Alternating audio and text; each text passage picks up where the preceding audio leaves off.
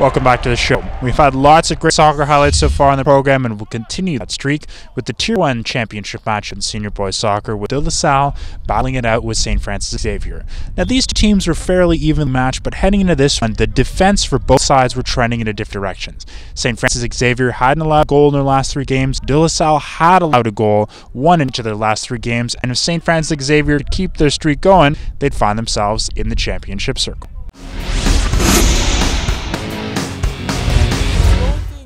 Number 13, Benson Fazil opened the game for De La Salle, missing a header in the box over the Saint FX goal.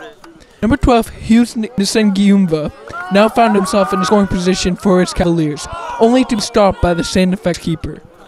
Number 11, Zachariah Abdul Wahab crossed a lofted ball into the De La Salle box, only to be punched away by goalkeeper John Eric Nimeriba of the Cavaliers. Number 15, Gilles Higo of De La Salle won a header only to be turned aside once more, preserving the 0-0 deadlock. As extra time began, number 3, Lajime Gatame missed the first valuable chance to win for the Cavaliers. De was then awarded a free kick. Standing over was number 6, Amadou Turpin. As he whipped the ball into the area, it was snatched up by Saint FX's keeper. As Fe began to attack, one of their players slipped and cuffed up the ball to De La Salle who countered. As the ball spilled to Luchua Gatame, he put his shot wide of the goal. With little time remaining in the extra period, Eder was hit towards. FX goal off a corner kick. Just like he has for the whole game, Coyotes keeper kept. FX in the game with a remarkable save. Penalty kicks were now underway as St. FX's number 10, Scott Mazzata, slotted the ball into the back netting. It was now De La Salle's number 10's turn to step up. Johan Manji, who put the ball straight down the middle, bar down for the equalizer. With a penalty shootout not at Patu 2, Saint FX's number 13, Dan Atsi, missing, putting De La Salle in the driver's seat to win the championship. The next three shooters scored, putting the game in De La Salle's Amadou Turpin's hand. As he stepped into the ball with ice in his veins, he sent the ball into the left corner, out of the reach of the keeper. With the win, LSL sent fans home happy with a Tier 1 championship. For High School Sports Zone, I'm Liam Knight. We'll move away from boys soccer and over to girls field hockey. The championship matchup has Nepean meeting up with Longfield Davidson Heights. Now, I mentioned on last week's edition of the program that there had not been very much scoring in the opposite division for girls field hockey. That did change in the semifinals a little bit. Nepean scored three goals in their game. Longfield scored two. So, you know, it's a little bit different than what it was, but we'll see if this offensive output could continue in the championship matchup.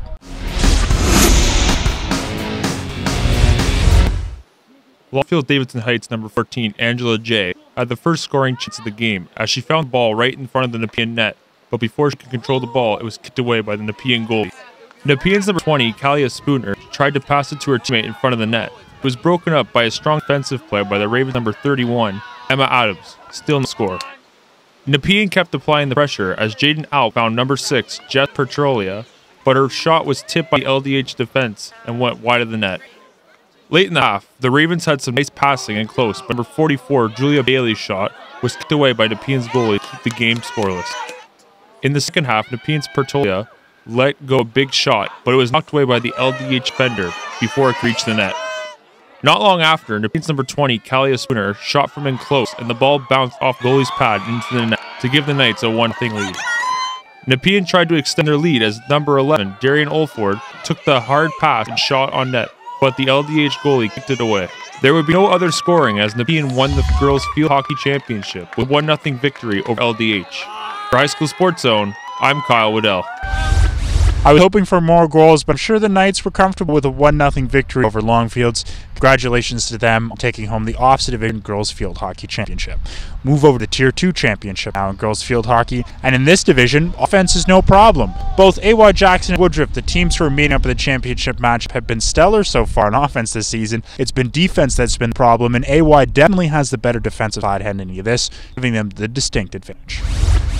In girls Tier 2 field hockey, Woodroffe picked right time to get hot as brought a four-game winning streak into the championship game against AY Jackson.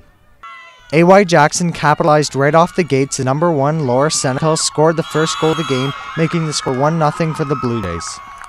AY kept the pressure on as they forced Woodroffe's goaltender to make a big kick save to keep the score at 1-0 for the Blue Jays.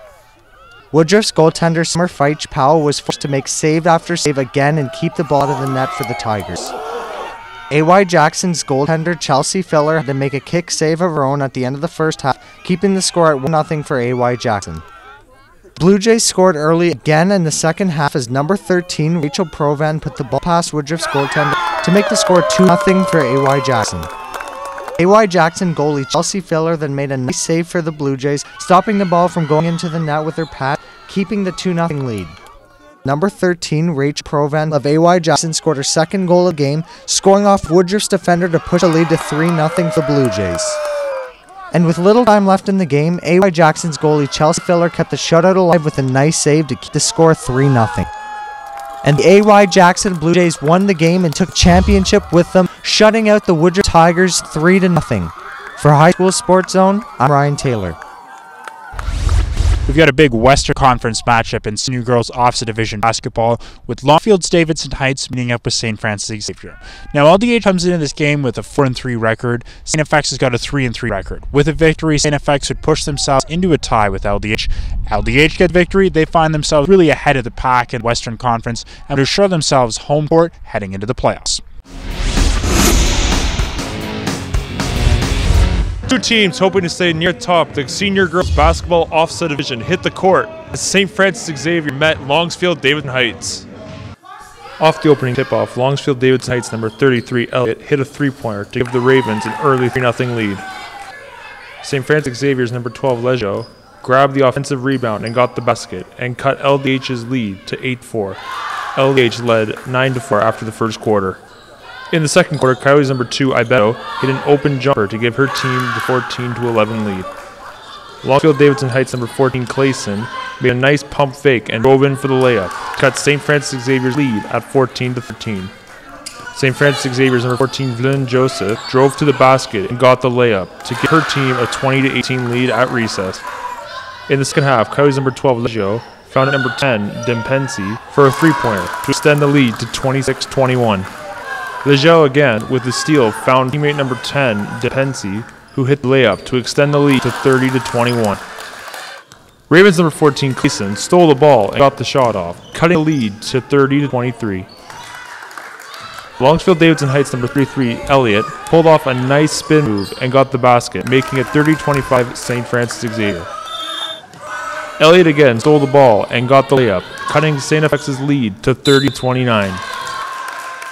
Coyotes number 10, Dempsey, found number 14, Vlyn Joseph, who hit the open jumper to give St. FX the lead at 36 to 34. Late in the game, Ravens number 14, Clayton, hit the contested three-pointer to give LDH a 39-36 lead. Longsfield Davidson Heights won 40-36. For High School Sports Zone, I'm Kyle Waddell. We'll have more basketball action after the break and we'll take a look at the girls' Tier 1 division.